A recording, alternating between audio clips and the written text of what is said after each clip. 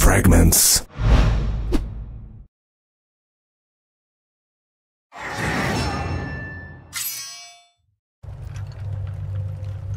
The world fears us.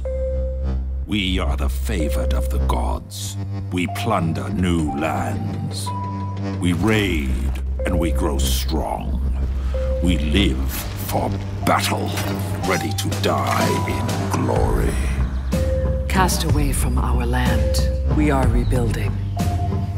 Our hearts are strong, our devotion absolute, and our skill is beyond question.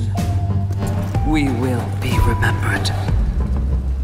We are the guardians of our people. We stand strong against all invaders. Duty is our shield.